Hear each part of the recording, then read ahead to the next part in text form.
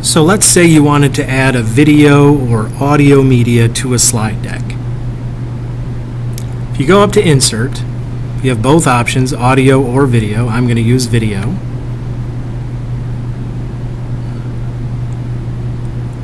And it automatically allows you to enter videos from YouTube, or if you know the specific URL for the video, or if it's just a video that you have stored on your Google Drive, uh, you can add those as well. I'm going to add a video from YouTube, and I'm just going to grab the link. I already have it open. So I grab the link, yes, that's the video, select, and it inserts the video. Now the nice thing about this is, even though it's a video, you can control the size using these blue sprites again. All right, so you can shrink this and make it small if you want. Uh, you can move it over uh, and make it larger if you'd like it to be bigger.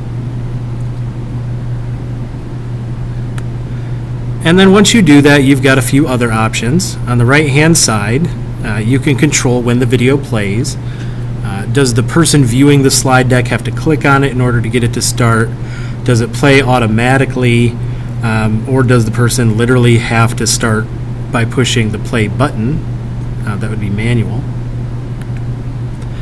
You can have it start at a specific time, end at a specific time. This is really useful if there's something you want to your students to view in the video, but it's not the whole video. Uh, if you can pick out when it starts and when it ends, you can set that in the slide deck itself, uh, and that will be the only part of the video that gets displayed. Or if there's something you want them to see in the video, but you don't need to hear any audio over it, uh, maybe the person is talking about something and students don't need to know what they're talking about, you just want them to see what's going on, you can mute the audio as well. And those are some creative ways that you can take advantage of video in your slide decks.